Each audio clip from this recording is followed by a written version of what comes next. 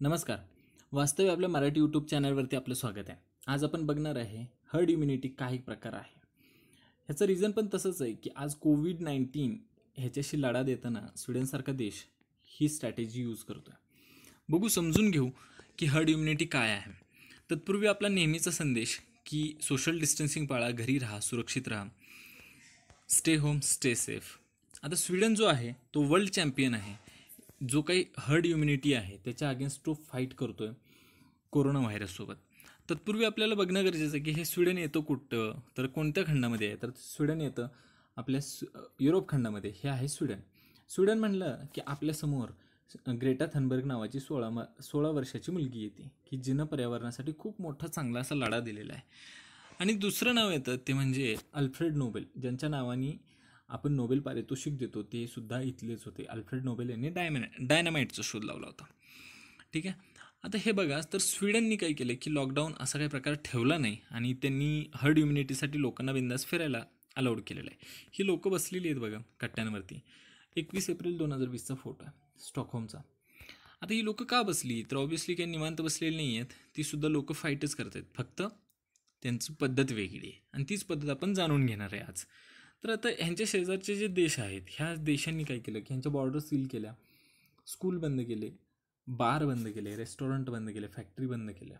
आणि दुसरीकडं स्वीडनचा कार्लसन नावाचा जो काही मंत्री आहे तिथला तो सांगतोय की people should go out exercise get fresh air it's good for their physical and mental health आता ह्यांनी इथं एवढ्यावरच नाही तर ह्यांनी सळसळ इथं सांगितलं की तुम्ही बाहेर येऊ शकता. तुम्ही बारमध्ये येऊ शकता रेस्टॉरंटमध्ये कॅफेमध्ये नाईट क्लबमध्ये येऊ शकता पन्नास लोक तिथं तुम्ही जगू जमू शकता त्याच्यापेक्षा जास्त नाही. आता ही स्ट्रॅटेजी आहे सिंपल स्ट्रॅटेजी त्यांची की ह्या लोकांची जी इम्युनिटी आहे ती बिल्ड झाली पाहिजे खूप मोठ्या प्रमाणावर जेणेकरून ती लोक भविष्यातसुद्धा तयार होतील. बट ऑबियसली हा एक कॉन्ट्राव्हर्शियल असा प्रकार आहे आणि सम हेल्थ एक्सपर्ट ह्याला काय म्हणतात तर रिस्की मूव आहे. बघू आपण ते कशा पद्धतीने वर्कआउट होतं? तर इथं हां हे जास्त पद्धतीनं तुम्हाला चांगल्या पद्धतीनं समजेल इथं की सगळ्यात पहिल्यांदा no immunity then some immunity and then herd immunity सगळ्यात पहिल्यांदा इम्युनिटी कोणालाच नाही तर तो व्हायरस आल्यानंतर ऑब्वियसली सगळेच अफेक्ट होणार. त्यानंतर सम इम्युनिटीमध्ये हे जे ग्रे बॉक्सवाले आहेत हे तुम्हाला दिसत आहेत हे रिकवर झालेले आहेत. आता हे सम इम्युनिटीमध्ये बऱ्यापैकी लोक रिकवर होतील आणि हर्ड इम्युनिटीमध्ये मेजॉरिटी लोक त्या ठिकाणी इम्यून होतील आणि ती त्या ठिकाणी ती इम्यून झाल्यामुळं त्यांचं प्रमाण कमी होईल. हे जवळपास सत्तर ते नव्वद एवढ्या प्रमाणात सत्तर टक्के ते नव्वद टक्के एवढ्या मोठ्या प्रमाणात तो आकडा जातो. म्हणजे इथून नो इम्युनिटी म्हणजे इथं जास्तीत जास्त लोक इन्फेक्टेड आहेत. इथंपासून जास्तीत जास्त लोक नॅचरली रिकवर झाली आणि ती भविष्यातही तयार झाली. हा जो प्रवास आहे तोच हर्ड इम्युनिटी आहे. आता बघू ही कशा पद्धतीने वर्कआउट होतं. त्यासाठी लागणारं जे काही बेस्ट आणि सेफेस्ट वे आहे तो म्हणजे वॅक्सिन पण येत्या अठरा महिन्यात तो वॅक्सिन मिळेल का? तर त्यासाठी डब्ल्यू एच ओ म्हणजे जागतिक आरोग्य संघटना तीसुद्धा संभ्रमात आहे की ते मिळेल का नाही.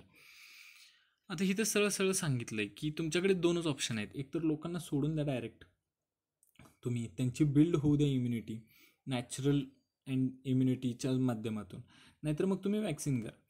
आता आपल्याकडे दुसरा पर्यायचं तर काही प्रश्नच येत नाही. राहिला पहिला पर्याय. मग ह्याच्यामुळंच तर हे हर्ड इम्युनिटी आलं ना.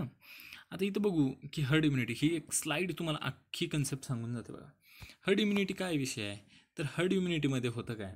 की तुम्ही ग्रुप प्रोटेक्शन किंवा कम्युनिटी प्रोटेक्शन करता. हे असं सगळं या ठिकाणी दिलं आहे तुम्ही वाचून घ्या. आणि ह्याच्यामध्ये सांगितलं की ह्यासाठी जे काही आज आपण कोविड नाईन्टीनशी जो लढा देतो आहे त्यासाठी हे उत्तर आहे का? तर ही herd immunity isn't the answer to stop the spread of COVID nineteen आणि मग सेफेस्ट वे कोणता आहे? तर एक आणि एकच आहे तो म्हणजे वॅक्सिनेशन म्हणजे ह्याच्यावरून लक्षात येतं आहे की ही एक त्यांची अशी काय म्हणतो आपण रिस्की मूव आहे स्वीडनची. बघू एक येत्या काळामध्ये समजेल की ही रिस्की मूव किती त्यांना रिस्पॉन्स देते तर तुम्हाला जर ही कन्सेप्ट समजली असेल आणि वाटत असेल की येत्या काळात सुद्धा अशा पद्धतीचे काहीतरी वेगळे व्हिडिओ मी तयार करावे तर नक्की चॅनलला सबस्क्राईब करा लाईक करा आणि शेअर करा. धन्यवाद.